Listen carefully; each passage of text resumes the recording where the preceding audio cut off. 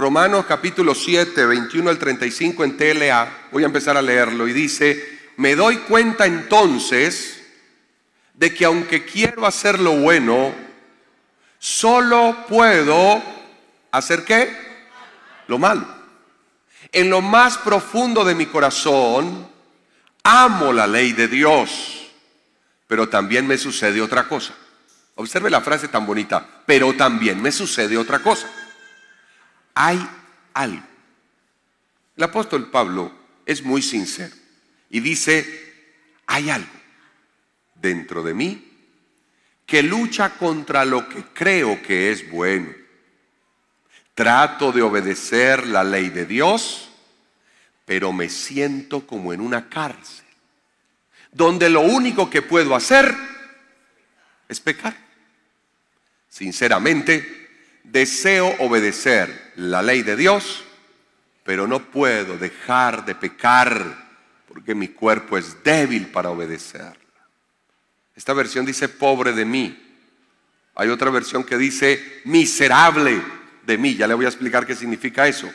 Y él mismo pregunta, ¿quién me librará de este cuerpo? Que me hace pecar y me separa de Dios. Y ahí viene la conclusión de su relato. Le doy, dice allí, le doy gracias a Dios porque sé que Jesucristo me ha, ¿me ha qué? Me ha librado. Cuando uno lee las palabras y el relato que el apóstol Pablo ha expuesto, uno se pregunta si el apóstol Pablo está viviendo una situación de esta magnitud, donde él sea sincera con su estado interno, con su lucha interna, con sus momentos personales y los expuso y el Señor lo lleva a escribirlos y plasmarlos en esta carta, nada más y nada menos que a los romanos. Uno se preguntaría entonces, imagínese usted y yo. Y cuando titulé el mensaje de esta mañana, buscaba cómo hacerlo muy personal de cada uno de nosotros, que nos, que nos dijese algo, que nos inspirara en algo, que nos, nos plasmara algo en el alma. Y lo titulé, Yo quiero, pero siento que no puedo. Vamos a repetirlo en voz alta. Uno, dos, tres. Vamos a decirlo más fuerte, mucho más avivado. Uno, dos, tres. Yo quiero. ¿Pero qué? Pero siento que no puedo. No sé si a usted le ha pasado y se le ha hecho realidad este título en la vida. Que usted quiere. Que usted quiere cambiar. Que usted quiere ser mejor. Que usted quiere dejar ese pecado. Que usted quisiera no pecar en esto, en aquello, hacer un alto. Que usted quiere. Pero cuando intenta en ese querer, siente que literalmente no puede. Siente que se le van las fuerzas, que se le sale de las manos, que la capacidad llega a un tope. Pero voy a empezar no con autoconmiseración por nuestro pecado o nuestra humanidad. Voy a empezar con sinceridad. Repita esa palabra conmigo. ¿Con qué vamos a empezar? Con sinceridad. Y para empezar con sinceridad, entonces quiero empezar diciéndole, no nos engañemos. No nos vamos a autoengañar. Cuando pecamos, sabemos que estamos pecando. Cuando usted y yo hacemos lo malo, sabemos que lo estamos haciendo. Iglesia, usted y yo sabemos muy bien lo que estamos haciendo.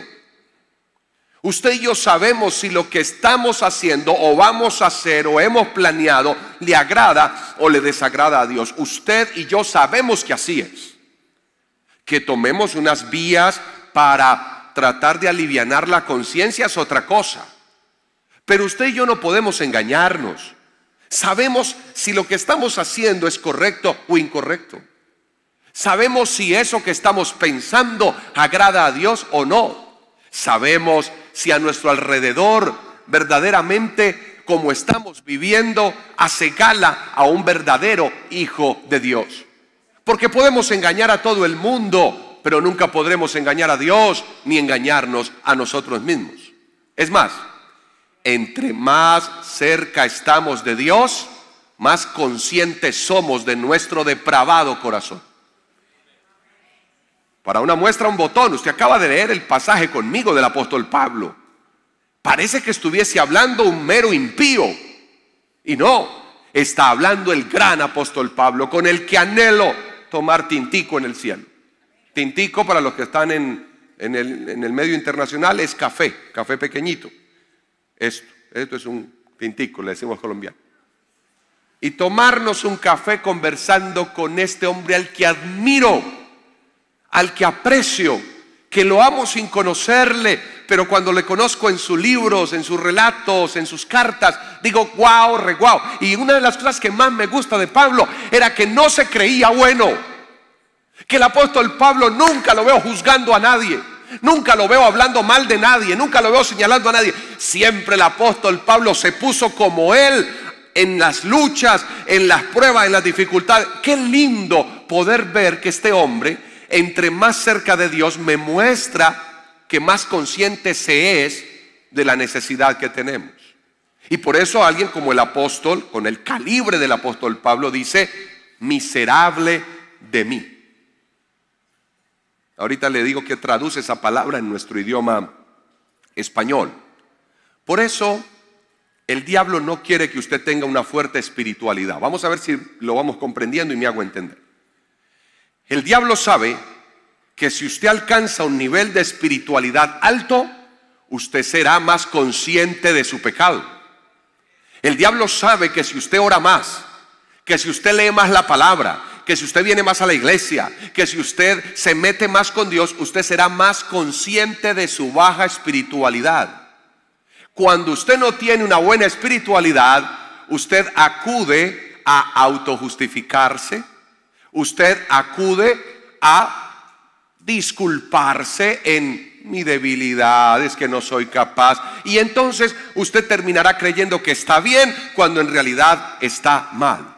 Esa es la razón por la cual vemos al apóstol Pablo con esa capacidad de reconocimiento y llamémoslo así, autocensura. Entonces no olvide esto, entre más cerca estoy de Dios, más me doy cuenta de mi depravado corazón. Entre más espiritualidad, más se revela mi humanidad. Esa gente que está esperando que no tener ninguna tentación, dejar de pegar. Le puedo mostrar al apóstol Pablo que dijo que eso no es posible. Usted y yo estamos, dice la Biblia, dice la Biblia, estamos bajo una condición de un cuerpo con el que tendremos que vivir hasta que nos vayamos de esta tierra. Es una lucha profunda e interna que está en nosotros. Le hago esta pregunta, iglesia. Usted conoce gente que se cree buena.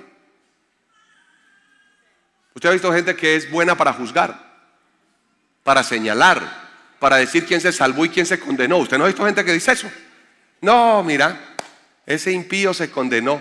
No se vaya a llevar una sorpresa a usted en el cielo. A lo que llegue allá y le salga ese que usted vio siempre como borracho y entonces, ¿qué hace aquí? Y diga, no, en el último momento me arrepentí, Dios tuvo misericordia. Por eso no soy quien para que mi boca juzgue a otro. Vuelvo y pregunto, ¿conoce gente que se cree buena? Que siempre hace gala de su espiritualidad. Le tengo una mala noticia. Esa gente que se cree buena es la gente más lejana al verdadero evangelio. Son los que más problemas reprimidos internos tienen son los que más luchas no confesadas tienen. Esos que andan mirando siempre el pecado de otro en lugar de hacer lo que el apóstol Pablo hizo, mirarse internamente. Usted nunca ve al apóstol Pablo tratando a alguien tan directamente con el pecado como lo hizo para con él mismo. Usted nunca ve al apóstol Pablo hablando, dicen los estudios que parece que la esposa lo dejó por el Evangelio a él. Y usted nunca lo ve ahí diciendo, y ese diablo con el que me casé. Mm, mm". ganas no le habrán faltado, pero no, él se contuvo. Usted nunca ve al apóstol Pablo, él por allá sí se sacó la espina del matrimonio. ¿Usted recuerda cuando habló del matrimonio? Le voy a traducir lo que él dijo. Cuando lo está leyendo uno que dice, ay no, no, no, no, no, no.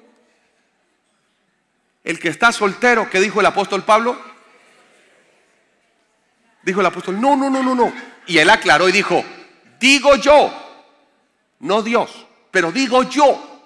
El apóstol Pablo dice, les quiero ahorrar problemas. Y la que está soltera, díquese al Señor y el que está soltero al Señor. Y al final dice, pero si se están quemando, ¿cuántos están aquí ardiendo en fuego? Cada uno sabe cómo está. Dijo, pero si están quemando, pues, pues cásense. El hombre se sacó su espinita del matrimonio, como que no le fue tan bien.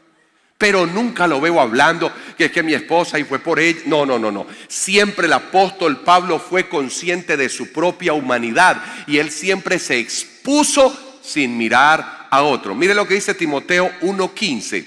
Mire cómo le escribe él a Timoteo. Primera de Timoteo 1.15 dice, la siguiente declaración es digna de confianza y todos deberían aceptarla. Cristo Jesús vino al mundo para salvar a los pecadores. Y ahí viene el veneno. Como dijo, de los cuales... ¿Mm? De los cuales yo soy el qué? El peor. ¿Qué tal una carta del pastor con esa introducción? Que yo le mande una carta a usted. El siguiente mensaje que le mando a Norbey, el más pecador de todos conmigo. Por ahí anda, no lo veo, el espíritu está por aquí. Entonces usted, Freddy, le tocó hoy. Venga para acá, Fred.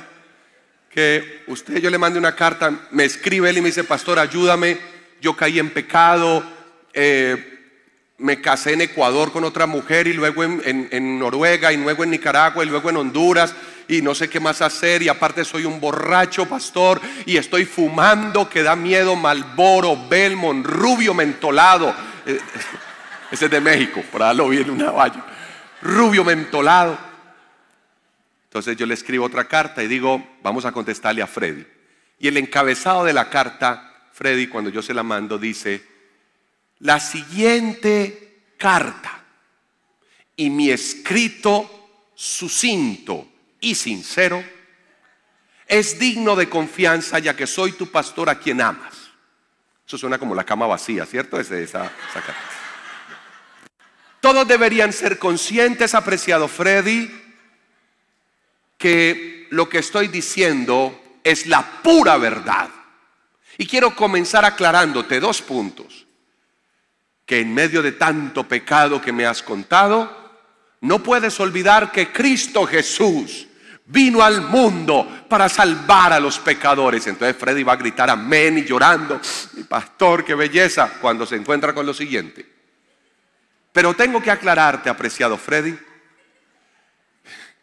que en medio de tanto pecado que has cometido y de todos los pecados que me has confesado, sabiendo que Jesús nos vino a salvar, te tengo que confesar y te tengo que contar que leyendo, tus pecados solo concluyo lo siguiente.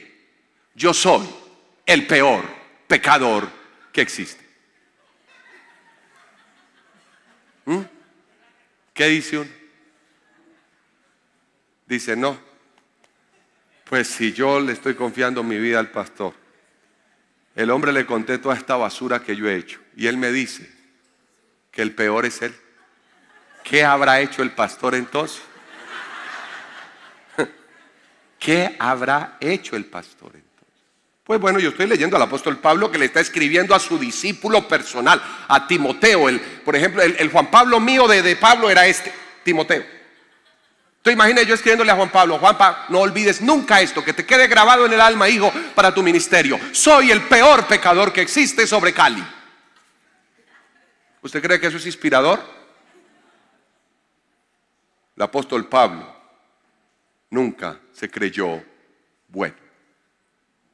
Ese es el primer paso para poder alcanzar una vida cercana con Dios.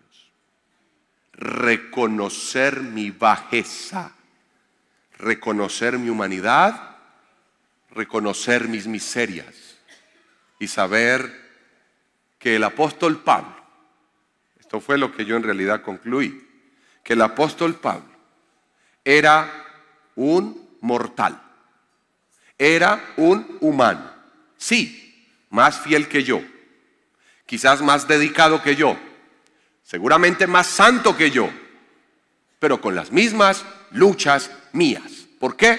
Porque el cuerpo del apóstol Pablo es el mismo cuerpo que usted y yo tenemos. Pero al final Él dice, Dios, muchas gracias por Jesucristo. ¿Sabe qué es eso? Que en medio de la lucha que tú estás teniendo, en medio de esos pecados con los que te estás enfrentando, en medio de esas batallas que, están, que estás librando, tienes a Jesucristo de la mano que te puede ayudar y sacar. Cuando usted no es consciente de su pecado, no saldrá de él. Otra vez, si no eres consciente de tu pecado, tú no sales de él. Por eso le dije, a mayor cercanía con Dios, mayor lupa sobre mi depravado corazón. Leyendo a Calvino hace dos semanas, me encontré con una frase pero maravillosa, increíble, apoteósica, espectacular, nunca antes escuchada. ¿Cuál fue la frase, pastor? Dijo Calvino, somos, aunque tenemos a Dios, una masa de corrupción. ¡Guau! ¿Cómo un hombre del nivel de Calvino? ¿Y quién es Calvino? Bueno, después le explicaré en una de las clases, pero es un hombre muy representativo para el cristianismo. Calvino dice que aunque tenemos al Señor, que aunque amamos a Dios, que aunque caminamos con Dios, él concluyó diciendo somos una masa de corrupción, que solamente a través de Jesucristo nosotros podemos tener libre entrada al cielo. Podemos tener libre entrada al trono de la gracia. Yo quiero pensar por un momento lo que el apóstol Pablo decía. Alejo, por favor, otra vez el verso inicial de Romanos. Cuando uno lee esta declaración, uno empieza a ver que el apóstol fue demasiado expositivo, fue demasiado sincero y fue demasiado claro. Y en dicha claridad, lo que él propuso fue, mire, ni soy bueno, ni me creo bueno, ni estoy tan bien como otros podrían creer. Y comenzó con lo primero. ¿Qué es lo primero que quise traer esta mañana en el yo quiero, pero siento que no puedo? Número uno, él mismo lo dijo. Diga conmigo, hay algo dentro de mí. Diga conmigo. Otra vez, ¿hay qué? Hay algo. Los que están ahí en conexión, escríbalo. Hay algo dentro de mí. Número uno, él dijo que hay algo dentro de él. Y ese algo es lo que a mí me ha generado tanta pregunta. No sabe cuánto duré mirando el verso y quedándome en, hay algo dentro de mí. Mire lo que dice el versículo. En el verso quise extraer el verso 25, que lo dice muy claramente. Pero también me sucede otra cosa. Hay algo dentro de mí que lucha contra lo que creo que es bueno. Trato de obedecer la ley de Dios, pero me siento como en una cárcel, donde lo único que puedo hacer es pecar. Empecemos aclarando esto. El apóstol Pablo no dijo que era el diablo lo que lo hacía pecar. El apóstol Pablo no dijo, es que hay un diablo que el apóstol Pablo no dijo es que hay una tentación. El apóstol Pablo no dijo es que hay una debilidad en mí. ¿Cómo dijo él? Ahí. ¿Cómo fue que dijo que hay qué? Hay algo. Él le llama a eso un algo. Y él dice, la palabra textual, trato. Es que yo, yo trato. Ahí me da una clara muestra. Y hay algo muy importante en lo que viene. Cuando usted trata de vencer lo carnal desde su humanidad, terminará totalmente exhausto. ¿Sabe qué traduce la palabra a nuestro original de miserable de mí? Cuando la busqué en miserable de mí, que la versión TLA dice pobre de mí, esa palabra traduce, lo más cercano a nuestro español es agotado, cansado. Lo que él está diciendo es, esta lucha entre la santidad y el pecado me tienen agotado. Esa palabra miserable que, traduce agotado, cansado. Quiero decirte que en tus fuerzas nunca podrás ganar la batalla del pecado, nunca. En tus fuerzas nunca podrás vivir en santidad. En tus fuerzas nunca podrás vivir la verdadera vida con Dios. Si no lo puede hacer el apóstol, el mismísimo apóstol Pablo, menos lo vamos a poder hacer usted y yo.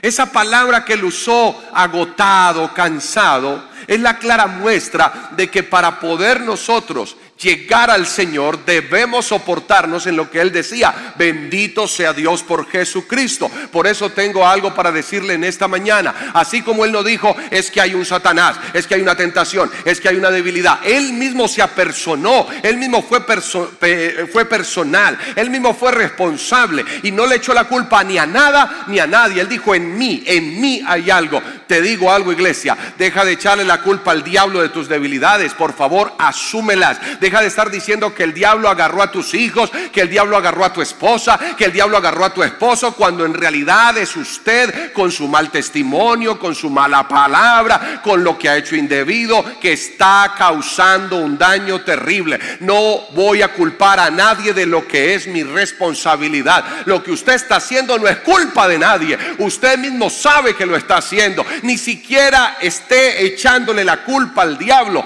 porque la Biblia dice, cuando de desde nuestras propias concupiscencias sale eso a flote. Cuando yo me responsabilizo de lo que estoy viviendo por dentro, entonces podré enfrentarlo. Yo veo al apóstol Pablo y el apóstol Pablo nunca ocultó su humanidad. Él dejó ver que mientras usted y yo estemos vivos, mientras estemos en este cuerpo, habrá una total batalla. Pero ¿sabe qué pasa? Entre más niegue su humanidad, más hundido estará. Entre más niegue que necesita de Dios y necesita humillarse delante de Dios, más profundo irá cayendo. Él dejó ver, el apóstol Pablo deja ver, que entre más culpo a otros de lo que es mi responsabilidad, menos voy a poder salir de donde estoy. Tengo una pregunta para usted, sin engañarse, amigos de las redes sociales, sin engañarse. Conteste esta pregunta. La pregunta del primer punto y la pregunta del apóstol Pablo. ¿Qué hay dentro de usted? El apóstol dijo, es que hay algo, es que hay algo dentro de mí. Le pregunto a usted, jovencito, adolescente, joven, quien sea. Si usted tuviera que contestar la pregunta, ¿qué hay dentro de usted? ¿Qué contestaría? Cuando usted se mira interiormente, ¿qué encuentra? ¿Qué hay en la profundidad de su vida? Pablo literalmente se confesó. Confesó lo que estaba viviendo y dijo lo que él había encontrado dentro de él. Y cuando uno lee el pasaje bíblico no fue muy bonito lo que encontró. Por eso es que mucha gente, aunque quiere, siente que no puede. Es que yo quiero cambiar, pero siento que no puedo. ¿Por qué, pastor? Porque no hay un reconocimiento de su responsabilidad. Porque quieren llevarlo todo a una espiritualización que no aplica. Porque terminan culpando a otros siempre de lo que les pasó, de lo que les está pasando. Y tienen hasta una lista de culpables. El primero, el que encabeza la lista, es Satanás siempre. Luego, va buscando gente cercana, que es por fulana, por fulano, por perencejo, porque a mí me pasó, porque a mí me dijeron, porque a mí me hicieron, porque yo fui, porque yo volví. Siempre hay un listado de culpables en lugar de asumir la culpa. Y yo le quiero decir a la iglesia cerrando este primer punto, por favor, cuando salga por esas puertas, cuando estamos a vísperas de terminar este año e iniciar uno nuevo, vamos a decir en el nombre del Señor no más voy a revisar ese algo que el apóstol Pablo dijo y voy a asumir mi responsabilidad. Voy a asumir lo que estoy haciendo. Voy a asumir este pecado que estoy practicando. Voy a asumir este fango en el que me estoy moviendo. No buscaré culpables, solamente voy a buscar qué es lo que hay dentro de mí. Entre más cerca de Dios, más logro ver lo que hay dentro de mí. ¿Sabe qué es lo que ha pasado? Que este mundo se ha llenado de cobardes. Y la gente en su cobardía no es capaz de asumir su responsabilidad. En lugar de decir busquemos ayuda, siento que el amor se nos está enfriando como pareja, siento que nuestro matrimonio está sufriendo, eh, la cobardía lleva a decir es que tú eres el problema. En lugar de tener la valentía de decir es que yo soy un perezoso y por eso no me está yendo bien en la empresa, lo que decimos es, es que en la empresa me tienen bronca. En lugar de tener la valentía de decir, es que yo no estudio lo suficiente, es que voto mucho tiempo, es que me la paso en redes sociales perdiendo y dilapidando el tiempo que podría utilizar estudiando. Lo que digo es, el profe me tiene rabia. Es que yo le caigo mal al profesor. En lugar de decir, es que yo soy un hijo que le falta el respeto a mis padres, no los he sabido valorar. Lo mejor es decir, es que mis papás no me entienden y son muy cansones. ¿Sabe por qué? Porque el mundo se ha llenado de cobardía. Cobardía para asumir nuestros propios errores. Cobardía para asumir nuestros propios pecados. Cobardía para asumir lo que hay dentro de nosotros. Y vuelvo a preguntarle, ¿qué hay dentro de ti?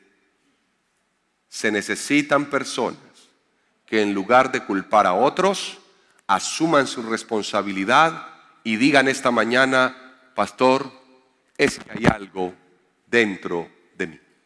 Pastor, es que como dijo el apóstol Pablo, hay algo. Le voy a poner el nombre que es a ese algo, pero sé que hay algo dentro de mí. El apóstol Pablo no señaló su problema afuera. Él se dio cuenta que el problema estaba por dentro. Querida iglesia, ¿qué hay dentro de ti? Querido muchacho, ¿de qué está llena tu vida? ¿De qué ha llenado tu vida? ¿De qué ha llenado tu mente? Esas emociones que tienes, ¿de qué están llenas? Esos comportamientos que muestras, ¿de qué están llenos? Tu corazón, ¿de qué se llenó? Es que hay algo, dijo el apóstol, dentro de mí. Pero quiero entrar en lo segundo. Y lo segundo que él dijo es que hay no solamente algo dentro de mí, sino número dos, hay una lucha. Repítalo conmigo, ¿qué hay? ¿Una qué? El verso 21 dice, me doy cuenta entonces de que aunque quiero hacer lo bueno, solo puedo hacer lo malo. En lo más profundo de mi corazón, amo la ley de Dios. El apóstol Pablo es consciente y dice, mire, profundamente yo amo a Dios. Pero me encantó cuando él dijo, me doy cuenta. Una de las primeras cosas que hay que hacer es darse cuenta. Me doy cuenta. Hay gente que muere sin darse cuenta. Hay gente que termina sus días sin darse cuenta. Sin darse cuenta que hay una lucha interior sin darse cuenta que hay que afrontar dicha lucha interior. Y es que hay una lucha, ¿o por qué cree usted que aunque leemos la Biblia, la memorizamos, venimos al culto, somos líderes, soy pastor, a veces seguimos con unas cosas que, ay Dios mío, y a veces decimos unas cosas y hacemos unas cosas que, ay Dios mío, y a veces nos comportamos de una manera que parece todo menos un hijo o una hija de Dios. ¿Por qué cree? Quizás no nos hemos dado cuenta o no nos hemos querido dar cuenta. Hay gente aquí que no se ha dado cuenta que está perdiendo su familia. El apóstol Pablo fue muy claro cuando dijo, me doy cuenta. Él fue consciente cuando dijo, me doy cuenta entonces de qué. ¿De qué debe darse cuenta usted hoy? ¿Está perdiendo sus hijos tal vez? ¿Está perdiendo espacio con ellos? Le tengo que confesar algo. En estos días llegó el reporte del colegio de las niñas. Muy bonitos. Pero el de Salomé tuvo una alteración. Salomé, ustedes ya saben quién es Salomé. Mi síntoma. Síntoma hecho hijo. En este caso, mi hijita. Cuando mi esposa se siente y me dice, pero mira, hay un tema con Salomé. Perdió esto. Perdió esto. Y también perdió esto. ¿Algo más que haya perdido? No. Yo me quedé pensando y analizando. Y dije, yo tengo culpa en esto. ¿Qué culpa puede haber, pastor? Claro. Porque los hijos empiezan a exteriorizar de alguna manera lo que no está haciendo clic correcto. Y este fue un año donde le di mucho de mí a la gente. Países, ciudades, pueblos, lugares, iglesias. Y muy poco me centré o me concentré en mirar cómo podía ayudar a mi hija en su proceso académico.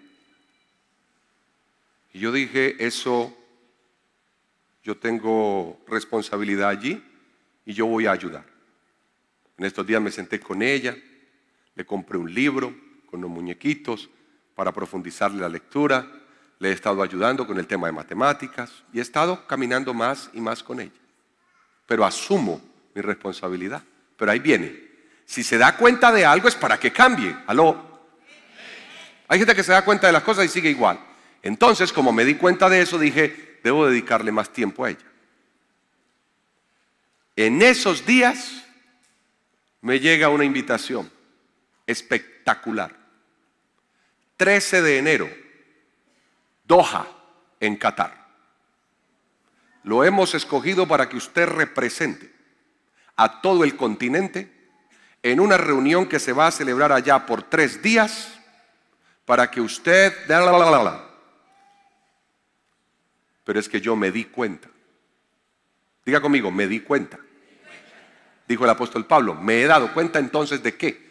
Yo me di cuenta de que mis hijas necesitaban, sobre todo esta, poco más de tiempo. ¿Quién le dice no? Todo pago para Qatar. El itinerario es Cali-Madrid, Madrid-Doha, Qatar. ¿Quién dice no? Yo. Les dije, no, hablé con mi esposa y le dije, mira, está esto. Ella me miró y al final dije, no, mi hija me necesita más que Qatar. O ay, me peguen una juguetera allá, ya le pegan a la gente y le dan latigazos o algo. Allá no es que cogieron a uno y le dieron una pela, la cosa más terrible. ¿Qué tal usted viendo al paso que le den juguete allá? No, no, no. Todo allá es una violación a la ley. Entonces, como dicen por ahí, ah, yo tampoco quería ir.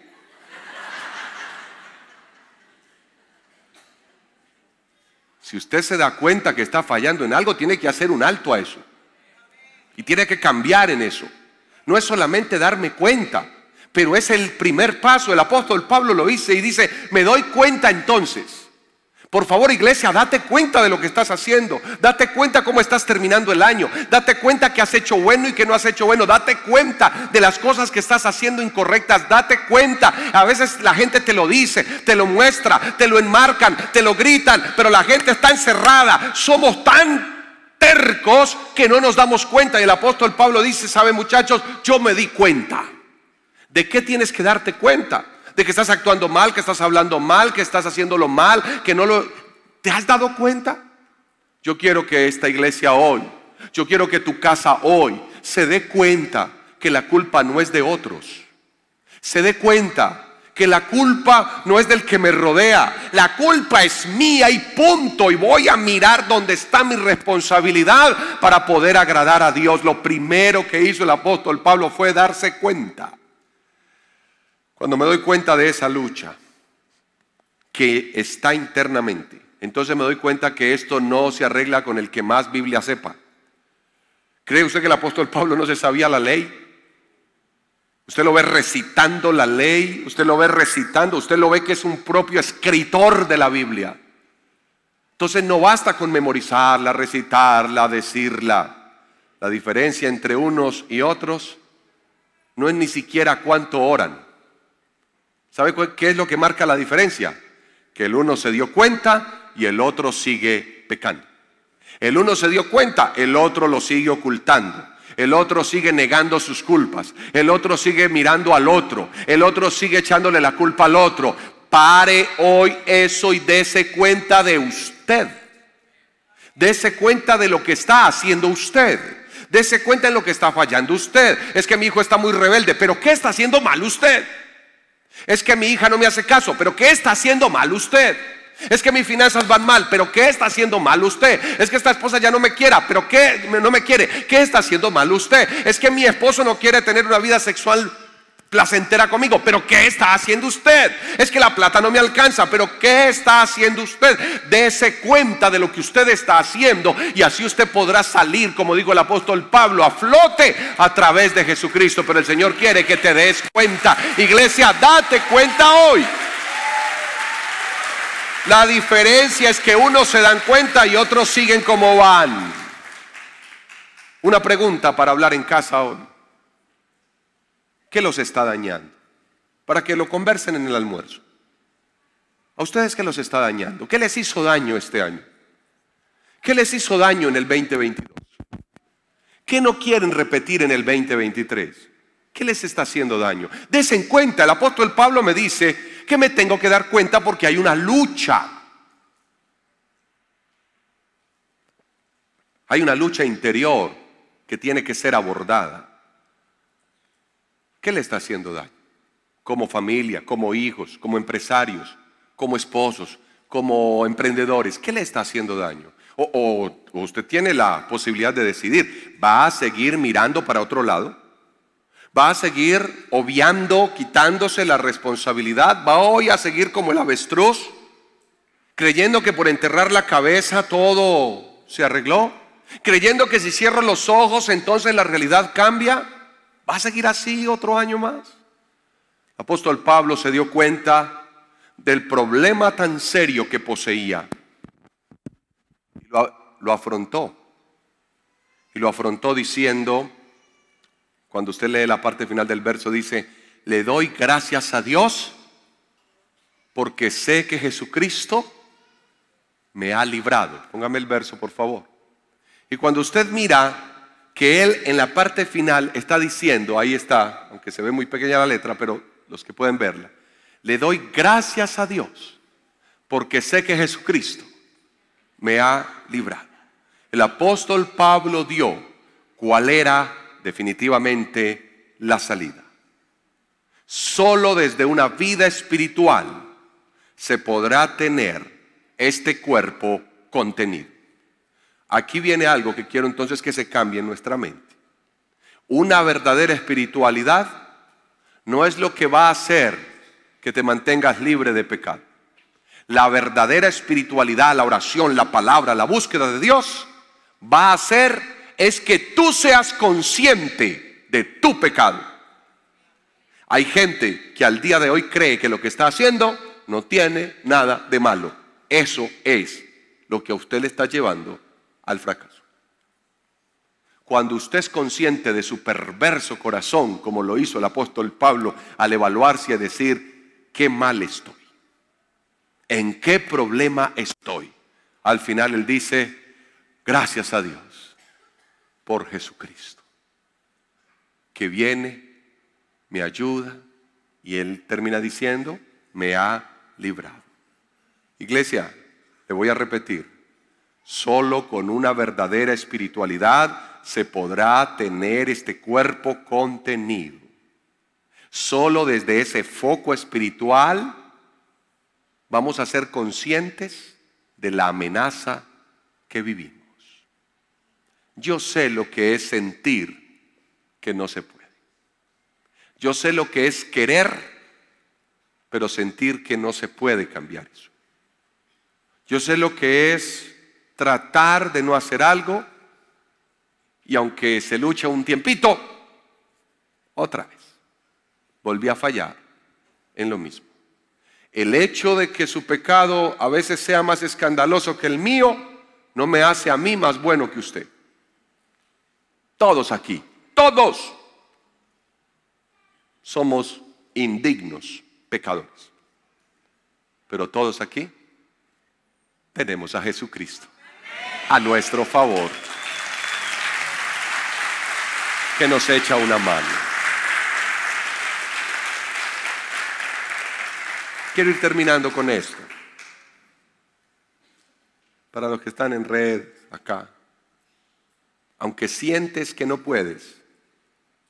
Iglesia linda, querida, amigos, hermosos, aunque sientes que no puedes, aunque a veces sentimos que no, le puedo decir, sí se puede cambiar, sí se puede cambiar.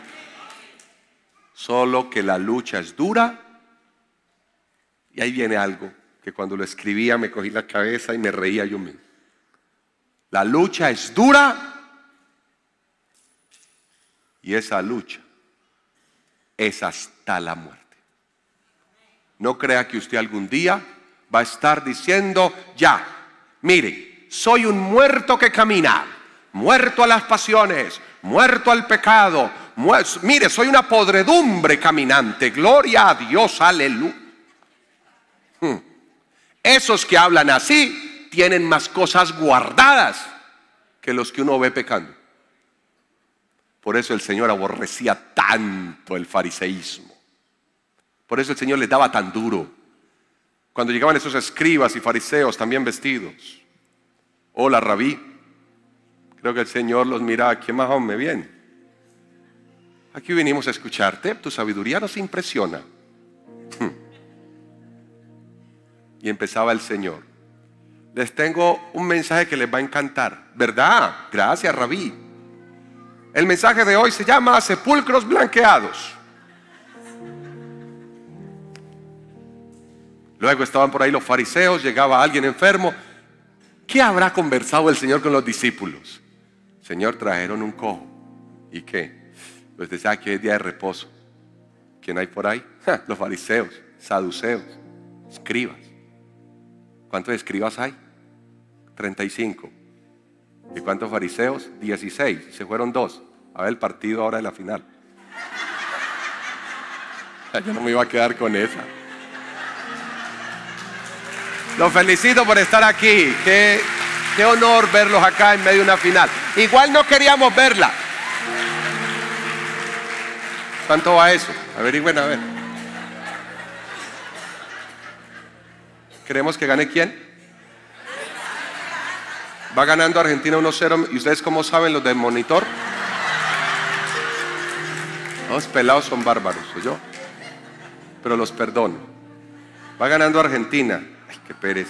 Bueno, lo que pasa es que le tenemos una envidia a los que hacen cosas bien hechas como Argentinita, pero amamos a los argentinos que están en conexión. Los amamos. Vamos, Argentina. Cierro ahí el paréntesis y le digo lo siguiente. Iglesia, cuando Jesús se enfrentaba a los escribas y fariseos. Juan, que era muy cercano a él, yo creo que si le decía, pues qué decirlo, sano o no. Señor, pero aquí se ha formado una trifulca. Pedro Lozano. De una, Señor, se lo traigo, que no, espérate, espérate, espérate. Claro, ese, ese Pedro, uh, Pedro no había que decirle mucho. Y llegaba el Señor levántate y anda. ¡Ja! Y empezaba el problema. El Señor le daba duro a los fariseos. El Señor siempre le dio duro al que se creyó bueno. Al que, al que juzga al otro. Al que señala al otro. Porque repito, ¿sabe cómo se demuestra la verdadera espiritualidad? Como el apóstol lo mostró. A mayor espiritualidad, mayor cercanía con mi pecado. A mayor fariseísmo, mayor zoom y mayor lupa para el pecado del otro. ¡Guau! Increíble. Vamos otra vez. A mayor espiritualidad, mayor capacidad de ver mi propio pecado. A menor espiritualidad y mayor fariseísmo, mayor capacidad y mayor zoom para ver el pecado del otro. Yo quiero una iglesia que se concentre en su propio pecado y que salga a decir, es que me di cuenta. Como dijo el apóstol Pablo, es que me he dado cuenta que hay algo. Iglesia, qué lindo sería terminar diciendo, me di cuenta. Me di cuenta que sí puedo cambiar, pero hay algo.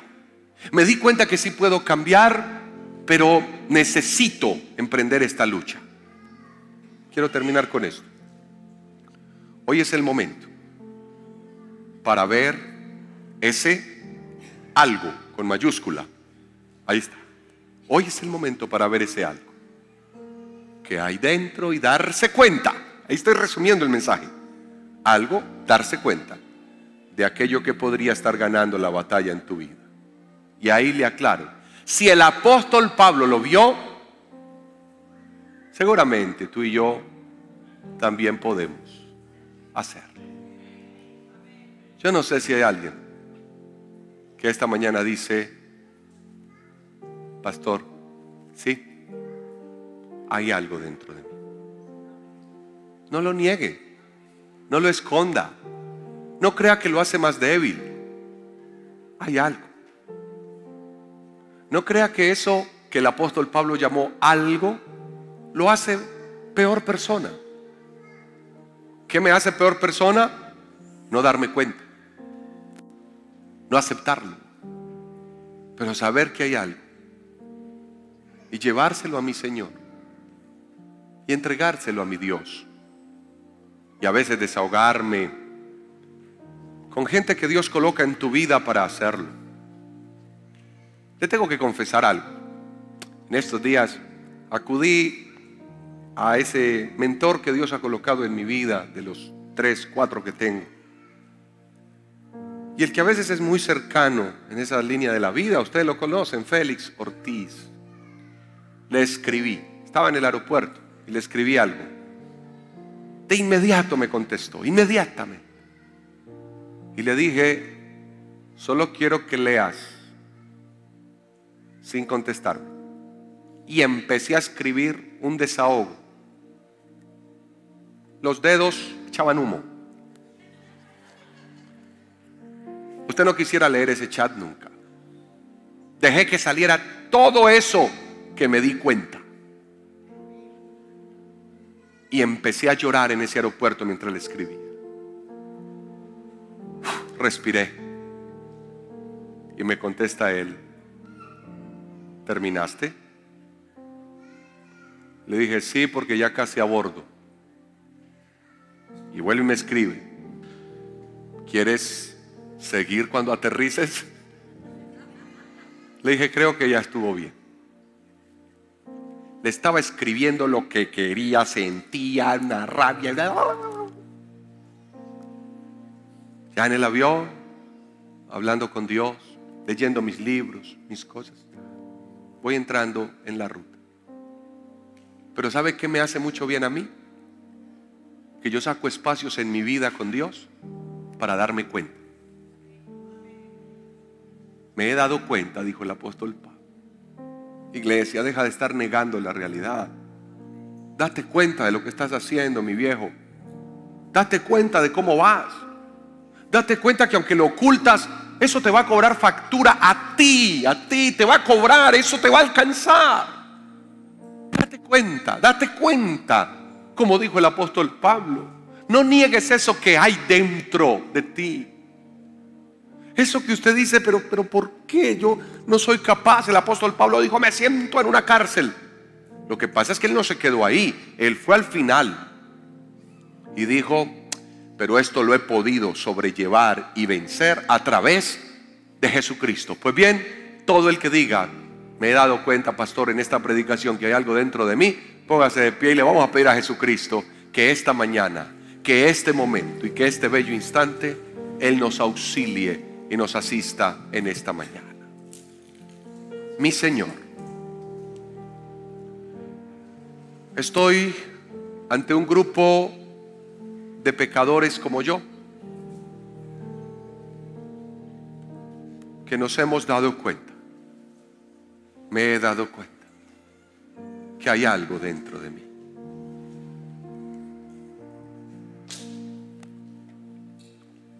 Me he dado cuenta que hay algo que no está bien Me he dado cuenta de mi vulnerabilidad. Me he dado cuenta de que lo he hecho mal.